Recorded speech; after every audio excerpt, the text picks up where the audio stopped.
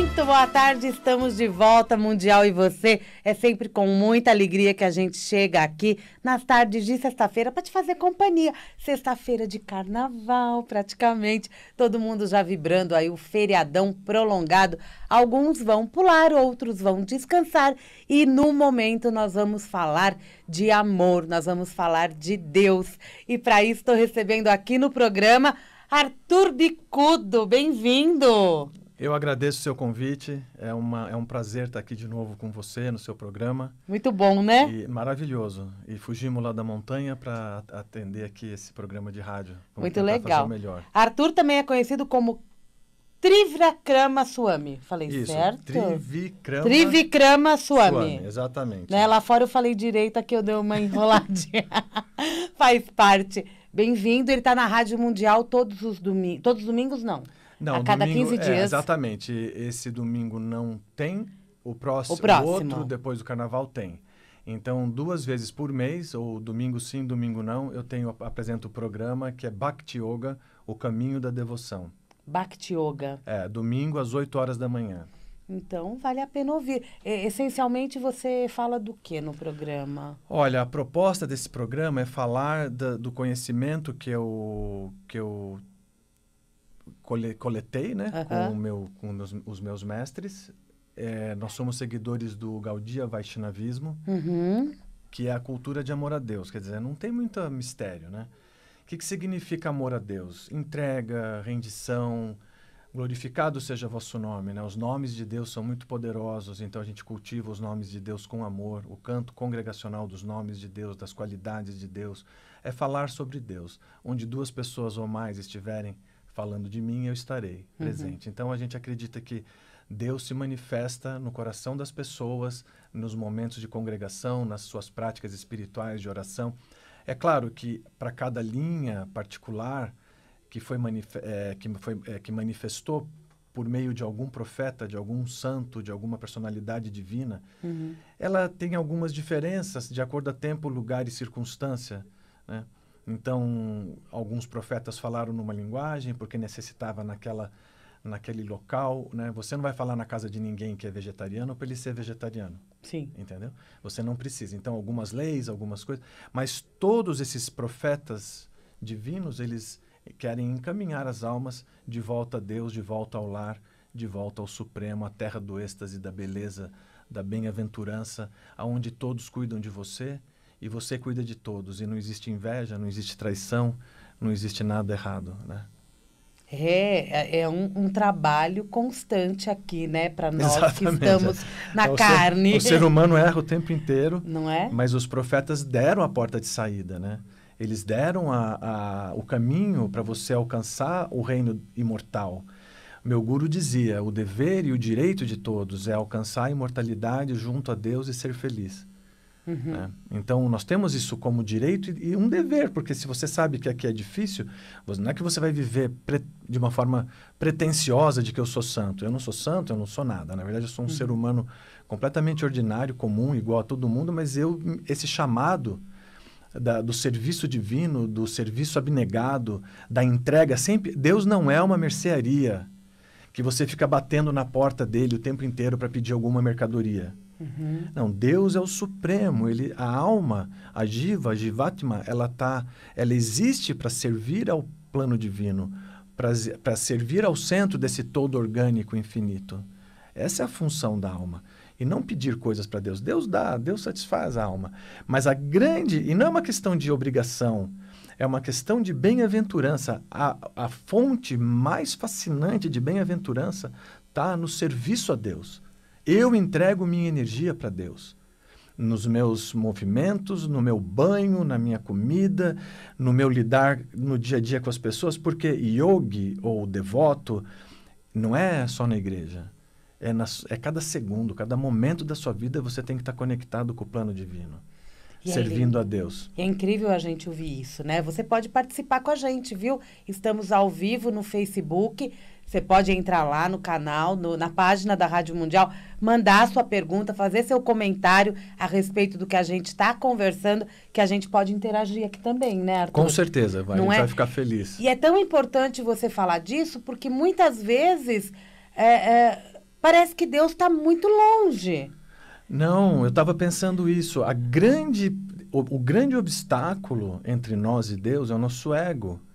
Queremos ser alguém, somos as personalidades. Então eu estava pensando uma coisa: a inveja uhum. é o maior de todos os obstáculos. Uhum. Invejar o próximo, invejar tudo. A inveja, não, na inveja nada se, nada se é, frutifica.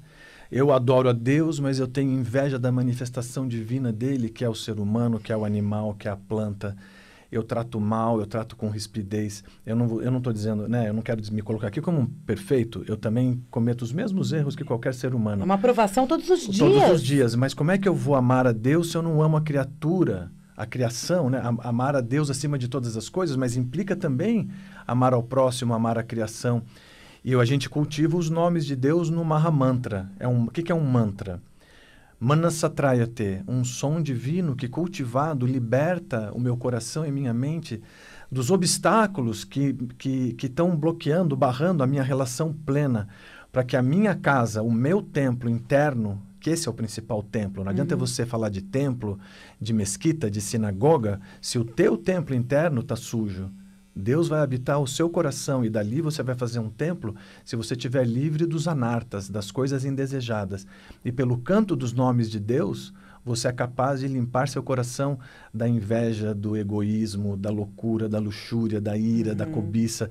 Essa, esses, esses monstros que, a, que, as, que assolam, que, que perturbam a gente constantemente. E o mantra é considerado mantra a partir de quantas de quantas evocações que eu faço? O mantra, com uma vez uma que você só. fale com amor e com súplica, né? A gente canta esse mantra Hare Krishna, Hare Krishna, uhum. Krishna Krishna, Hare Hare, Hare Rama, Hare Rama, Rama Rama, Hare Hare. Mas se você canta os nomes de Alá, Alá, Alá, ou Jeová, ou Jesus, se você canta com amor no coração e suplicando por progresso espiritual, por serviço divino, por conexão com o plano divino, vai ser manifesto para você. Ele os nomes vibra, né? autorizados, né? os nomes dados por personalidades autorizadas no sentido verdadeiramente espirituais e não farsantes. A gente não quer a linha não. criada por nenhum farsante. E não Queremos vamos criar nenhum. E né? não vamos criar nenhuma. Somos seguidores do, do, do Aminaya, do descenso divino do conhecimento transcendental. Ele descende para nós. Krishna não deixou a gente aqui perdido. Uhum. Né? Deus não deixou a gente perdido no mundo sem saber. Ele, ele faz com que esse conhecimento divino manifeste em diferentes escolas, porque são diferentes formas de pensar, é, avanço espiritual, formas de compreender Deus. Então você tem essa Babel de espiritualidade, mas que é benéfica para cada um de acordo ao coração dela. Ela vai se afinar com os evangélicos, com, os, né, com o catolicismo, com o islamismo. Uhum. Ela vai ter uma afinação. Os yogis procuram de alguma forma a, a, a sua comunhão com Deus. Eles têm uma outra. Então, o respeito é a primeira é a primeira palavra. Respeitamos a todos, adoramos a todos, porque o Deus que se adora na mesquita é o Deus que eu adoro no templo com Krishna. Uhum. O é nome é um. É, só muda o nome, gente. Exatamente. São é. os vários nomes de Deus. São os infinitos e, nomes de Deus. E muita gente, por incrível que pareça, hoje nós ainda ouvimos pessoas achando que são seres diferentes. Não, não, não são, não né? São. A humanidade toda é uma irmandade não só de seres humanos, mas você inclui também todo, todos os seres, na verdade. Não uhum. existe movimento que não seja divino. Todas as almas estão em busca de felicidade plena, eterna e a bem-aventurança da comunhão com Deus. E o corpo humano é o corpo que permite você ter a porta de saída pro plano do plano da mortalidade e uma comunhão plena com Deus. É um corpo abençoado, né? Uhum. Onde você pode questionar e onde você pode ir atrás das respostas. Nós temos uma mente, né? Exatamente. Nós temos o cérebro Exatamente. que nos ajuda a pensar, a racionalizar Exatamente. tudo isso, mas também nós temos o sentir, né? Nós temos o coração. Com certeza. Bhakti, que é o processo devocional, como é chamado o meu programa, Bhakti Yoga, o caminho da devoção, Bhakti Yoga. Esse yoga da devoção se pratica com o coração. Uhum. Né? Você pode ser tetraplégico, você pode ser o que for, você tem que ter coração. E todo mundo tem coração. Uhum. Eu não estou dizendo do órgão pulsante, porque em um dado momento esse órgão pulsante vai parar. Mas você pode continuar devotado a Deus, mesmo depois de abandonar esse corpo, uhum. mesmo depois de deixar o corpo a sua conexão com Deus nunca vai deixar de existir, uma vez que você queira. Krishna fala no Gita: à medida que a pessoa se rende a mim, eu me revelo a ela. Então, renda-se a Deus e Ele vai se revelar a você. Renda-se profundamente, do mais profundo âmago da sua existência. Senhor, eu me rendo, eu me rendo a seus pés, eu me coloco à sua disposição. Por favor, ilumina meu caminho. E você vai ver que sua vida vai florescer espiritualmente. Eu não estou falando de uma... É rápido, né? Não, É. Você, você não precisa Imediato. de muito. Você pode fazer isso indo para o teu trabalho. O tempo você inteiro. pode fazer isso fazendo sua caminhada o, tempo, inteiro. todo, né? O tempo todo é uma comunhão, pode haver comunhão com Deus, não é só na igreja. A igreja é uma escola. E as coisas fluem, né, Arthur? Fluem. A vida flui. Fluem, porque Deus começa a tomar conta de você. Você talvez seja irresponsável, mas Ele vai sempre te pôr de novo na trilha. E não é, que nós estamos chamando a Deus, implorando e pedindo algo. É que, na verdade, há um encontro. Exatamente. Estamos nos abrindo para esse encontro. E É a gente, importante que ele E falando de exista. encontro, né? Falando de encontro, eu trouxe o Arthur aqui hoje para a gente falar de encontro, que é o Namarrata. Isso, a gente Explica tem. pra gente do que se trata. Nós temos alguns lugares, né? Como a gente tem nosso mosteiro, nosso centro de, de, de meditação e de a- devoção a Deus, que é em Campos do Jordão, né? Que, é, que a gente Que é um templo, Que- né? Exatamente, que a gente tem um templo. Nós temos o Templo da Moca na rua Sapucaia 1111.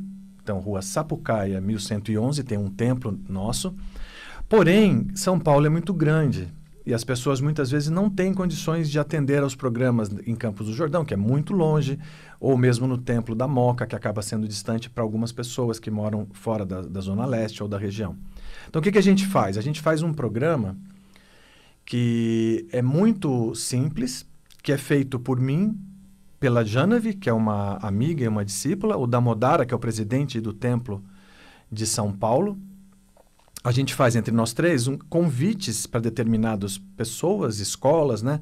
Aonde nós vamos falar das escrituras sagradas. Uma coisa que é importante dizer, não queremos forçar a barra com ninguém, é com, a gente faz com pessoas que estejam dispostas a, a ouvir o que nós temos para professar dentro da nossa escola. E até para conhecer o que essa É. Exatamente. escola diz. Então, tem algumas escolas, escolas de yoga, por exemplo, que são muito livres e liberais nessa questão, que eles gostam de chamar várias, várias vertentes, várias linhas, para que as pessoas tenham a, a opção, a chance de conhecer. Então, a gente já foi aqui na Casa Sat, que é no Paraíso, né, com a Uhum. Que é uma amiga nossa. Cozinha do Mandir, que é na Pompeia, que é um pessoal que são, é um casal de amigos também que convida a gente para eles fazem comida, eles fazem, são veganos, etc. Eles, também dão, abrem espaço para que a gente fale sobre a consciência de Krishna, Uhum. sobre Krishna, sobre o, o cultivo dos santos nomes de Deus, o cultivo do Mahamantra. Mantra é um nome divino que descende do plano divino, né? Para a gente deixar claro isso. A gente também foi no Espaço OM, e, já, e vamos voltar para Caieiras, que é o Espaço ON, e Instituto Rodrigo Castelo, no Ipiranga. E teremos agora, no futuro, Casa Prema, que é um restaurante aqui em Pinheiros, na Rebouças. É Tá. um restaurante conhecido, vegetariano, de amigos também. Então, quem quiser fazer um encontro, quem tiver interesse dos ouvintes da Samira, quem está ligando a rádio agora, que nunca ouviu também e está ouvindo a gente falar, a gente tem, eu vou passar o meu telefone, que é código 12 996630515, repetindo, 12 996630515. Pode mandar o WhatsApp para mim, perguntando, esclarecendo, até fazendo perguntas em relação à espiritualidade que nós seguimos, da nossa linha Gaudia Vaishnava, somos adoradores de Krishna, seguimos o caminho da devoção a Deus. E quem quiser entrar no Facebook, né, para ver nosso trabalho de, dessa divulgação e desse, desses encontros chamado de Namahata, encontra com esse nome, Nama, N de navio, A de Alemanha, M de Maria, A de Alemanha, H de homem, A de Alemanha, T de tatu, A de Alemanha. Namahata, no Facebook, no YouTube e no Instagram. Todos com o mesmo nome, Namahata. Se você pesquisar Namahata, vai aparecer a nossa página.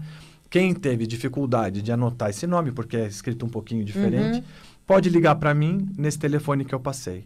Tá e a gente, a gente faz esses encontros, que significa, né? O, o dono do espaço convida seus alunos, convida seus amigos, e pode ser até em casa de família, né? Uma vez que a pessoa entra em contato com a gente, a gente veja a possibilidade.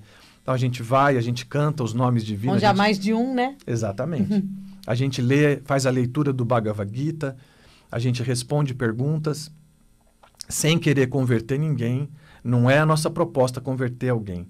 Nós queremos simplesmente propagar o que a gente tem. E se alguém tiver interessado de coração a seguir o que seguirmos, nós vamos dar apoio para essa pessoa, fornecendo livros, literatura e tudo que ela puder, tudo que tiver ao nosso alcance, né? Orientar, Eu, né, a, a como seguir o caminho. O próximo encontro parece que vocês têm no dia o 9, 9, 9 de do março. 3, é, 9 do 3, Cozinha do Mandir. Se vocês procurarem esse, esse endereço no, pelo Google, eu não lembro agora como é que a Nem gente... precisa, gente. É só entrar no Facebook que eu acho que Tem as lá. informações atualizadas são postas lá, né? Exatamente. Entra no Facebook, teremos Cozinha do Mandir e você faz a inscrição. Que é na Pompeia. Você que é da região É. já e, e quer participar de algo assim, até para conhecer, né, Arthur? Porque Exatamente. muitas vezes a gente está aqui conversando e tal, mas eu preciso ir a algum lugar para sentir, para ouvir, para conversar com você pessoalmente, não é? Ah, pode ser até templo. um, um programa cultural. né? Exatamente. Porque a gente tem uma riqueza enorme de informação. Tenho, eu tenho, apesar de considerar pouco, né, eu sou um, um pequeno estudante dessa cultura. Uhum. Eu tenho, eu entrei nessa cultura de amor a Deus, de, de devoção a Cristo. Eu tinha 21 anos de idade. Eu estou com 54 anos. Então eu tenho A vida. é, é um pouquinho de tempo. Se você comparar com a eternidade, não é nada. Uhum. Mas dentro do que eu pude viver nessa vida, foi, foi eh, tudo que eu vivi, né? Porque a gente começa a vida, né? Aos 21, o que, que você é? né? Você é um menino, né? É um Exatamente. pós-adolescente, né? É. E eu cheguei nessa fase, eu tinha muito questionamento sobre espiritualidade e eu acabei encontrando com os devotos de Krishna, achei livros, né? Encontrei, eles me forneceram livros e minha vida mudou. E eu posso dizer que minha vida mudou de uma forma fascinante. Hum. Eu antes eu entendia Deus de uma forma, eu tinha alguma procura assim por energia e hoje eu tenho uma relação muito muito pessoal. E o que é incrível, que eu não posso dizer que ah, os nossos mestres, eles são pobres. Quando você segue um caminho divino, existe uma mudança no seu coração. E essa mudança é o mais fascinante. Essa mudança permite você viver numa sintonia com algo muito lindo. Uhum. E eu não troco isso por nada. Muita coisa deixa nada. de ter importância. Muita coisa. Você começa a entender realmente o que é lixo para mim e o que é maravilhoso. Um gosto superior te tira de um gosto inferior. As pessoas que procuram, às vezes, por vários tipos de terapia, eu até falo né, da, do, do- da, da compulsividade com algum, algum, alguma coisa da vida, drogas, álcool, o que seja, até comida, o que for. Mas quando você se refugia no plano divino, quando você se refugia em Krishna, você se refugia em Deus, existe um, assim uma mudança maravilhosa no seu coração. E, e muitas coisas que são lixo na sua vida, que você foi, que a gente está vidas e vidas cultivando, elas começam a perder o sentido. Energeticamente também, é, nós conseguimos, através desse processo todo, da gente se reencontrando e encontrando Deus nesse caminho, é, energeticamente as coisas começam a fluir mais naturalmente, os problemas já vêm com uma solução mais rapidamente, por exemplo. Exato. É isso que a- Olha, eu eu, posso sentir isto. eu penso assim, que no mínimo, no mínimo você vai ter uma compreensão profunda do meio ambiente. O que está acontecendo na minha vida? Ninguém é culpado das minhas misérias. Aham. Eu sou o arquiteto da minha fortuna. Então, tudo que acontece na minha vida, amigos, irmão, trabalho, tudo, tudo, tudo na minha vida é o que eu preciso para progredir rumo ao plano de amor a Deus. Quando você entendeu isso, tudo fica bonito, até mesmo ruim. Porque você entende, nossa, está acontecendo isso comigo, o que, que eu tenho que aprender com isso? Como que eu vou me aprimorar nessa situação? Se questiona mais. Exatamente. Você fala, puxa vida, as coisas estão difíceis para mim, eu vou me empenhar mais, eu vou ser melhor. Você se corrige, porque não é só agradar. Às vezes uma correção é boa para gente. né? E você vê que o mundo é feito de, de recompensa e, e, cas- castigo no sentido assim, Uhum. não, ó Deus, a mão de Deus castigadora, não. Um pai às vezes dá um peteleco no filho para que ele se situe, para que ele seja educado, para que ele vá bem na escola, ele dá um tranquinho, ele fala, ei, você acorda, né? Você tem que ser educado. E é por afeto. Então, toda a nossa relação com Deus é de afeto. Não existe um Deus punidor. É o pai. Exatamente. Não existe um Deus punidor que vai te fritar no inferno eterno. Né? Você nunca vai fritar num inferno eterno. Você está sempre com a possibilidade de ir para um plano divino, o tempo inteiro. Não interessa o que você fez. Deus Todos não... têm o seu momento de lucidez. Exatamente. Não é que vem uma Exatamente. informação, eu não estou no caminho correto. Exatamente. Né? Eu, eu ainda, ainda tenho tempo de mudar o isso tempo na inteiro, minha vida. O tempo inteiro. É, e, e, outra coisa que eu tenho aprendido muito. No passado ficou, eu aprendi com ele, para não fazer os mesmos erros, mas não vou ficar remoendo quem me ofendeu, quem eu ofendi. Não, perdão absoluto, somos humanos, estamos numa jornada. O futuro a gente pensa amanhã, né? a gente pensa a pouquinho. Né? O ponto importante é que a alma vive absorta é no presente momento. Uhum. Adore a Deus a cada instante da sua vida. Refugie-se nele a cada instante da sua vida. Nunca desconecte dele. Nunca. O tempo inteiro você pode estar conectado. A alma vive no presente. A alma não vive nem no futuro e nem no passado. Nós nunca existimos no futuro e nunca existimos no passado. Nós existimos no presente. Existimos em formas diferentes quando se fala em passado. Mas no momento que você estava no passado, era presente para você. Uhum. Você está sempre no presente momento.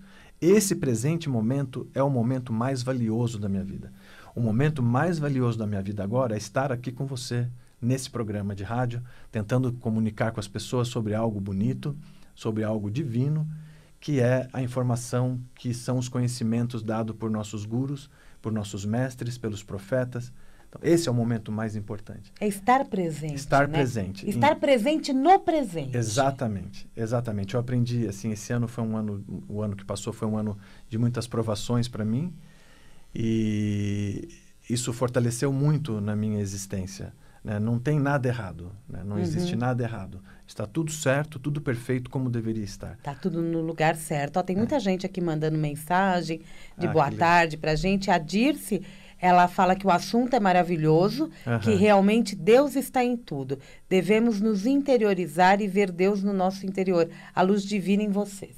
Muito lindo. Muito lindo. Um beijo para Dirce, para Regina, para Maria Silva, para o Elinho, para tanta gente que está aqui com a gente. Você tem uma, uma audiência fabulosa, né? Eu espero que sim. A gente gosta do ouvinte pertinho da gente, não é? é? O programa está quase terminando. Nossa, passou rápido. assim, daqui a pouco o Jean está levantando a mão e desligando Entendi. o microfone, né? É. Que está aqui com a gente ouvindo esse programa. Quero que você deixe uma mensagem para o nosso ouvinte. E daqui a pouquinho a gente repete todos os contatos. Ah, eu queria agradecer, em primeiro lugar, a você, a toda a Rádio Mundial, né? A, a, o pessoal que dirige essa rádio maravilhosa. Queria é, convidar vocês, né, se quiserem de novo, 12996630515, quem quiser falar do Namahata, fazer perguntas, o que quiser, entrar em contato comigo. Eu sou uma pessoa simples, super acessível. Assistam meu programa e fiquem com Deus, né? Fiquem com Krishna, fiquem com Allah do jeito que vocês adoram o Deus, né? Que é o mesmo para todo mundo. Com certeza. Na a... Moca, o endereço é Rua Sapucaia. 1111. Quem quiser passar no templo e conhecer. Pode ir lá. Como... Só escreve para mim, porque a gente tem pouca gente, às vezes ela pode dar com a. Com... Às vezes não tem ninguém lá. Exatamente. Escreve para mim e aí a gente se comunica, fico esperando, ou o presidente do templo da Modara vai ficar esperando para ter uma recepção melhor, né? É, para conhecer, agra... para sentir de verdade. E agradecer a todos vocês, bom carnaval e que todos fiquem com Deus. Obrigada, muito Eu obrigada. Então, gente, vou lembrando, ó, o telefone de contato do Arthur é 12, código 12, que é Campos, Campos do, do Jordão. Jordão. Isso. 99663 0515. 99663 0515. Vocês encontram em todas as redes sociais, Facebook, Instagram, YouTube, a página do Namahata tá? É isso Namahata. É, é, muito prático, né, de localizar. O Namahata é com H, N-A-M-A-H-A-T-A, Namahata, e por lá você consegue todas as informações e a programação desses encontros. Então, quando estiver pertinho de você, usufrua. É, é isso, aí, Samira. Obrigada. Eu que Sucesso. agradeço. Esse domingo também. ele não tem programa às 8 da manhã, mas pós-carnaval ele estará aqui com a gente na Mundial, sempre ao vivo. É isso aí. Obrigada, querido. E o Mundial e você vai ficando por aqui. Passa muito rápido esse programa. Quando o papo é bom, passa mais rápido ainda. A gente vai ficando por aqui. Desejamos a vocês um ótimo feriado prolongado, um carnaval cheio de amor, alegria e juízo. um grande beijo. Daqui a pouquinho eu volto com o Jornal da Boa Notícia. Um beijo e até lá.